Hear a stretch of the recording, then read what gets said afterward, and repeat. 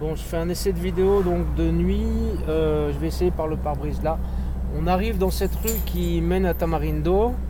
Alors là, il est 7h le soir, donc bah, il y a encore beaucoup de monde qui, sort. Et là, on commence à voir donc les boutiques euh, sur le côté.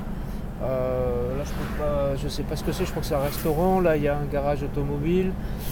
Là, il y a des pompes, des pompes à eau.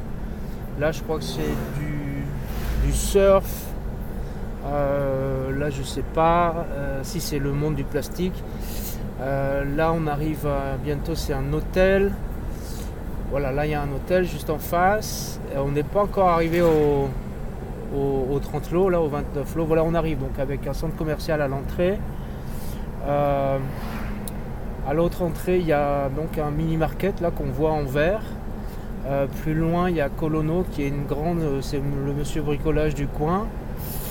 Euh, voilà, donc là je vais couper là cette vidéo.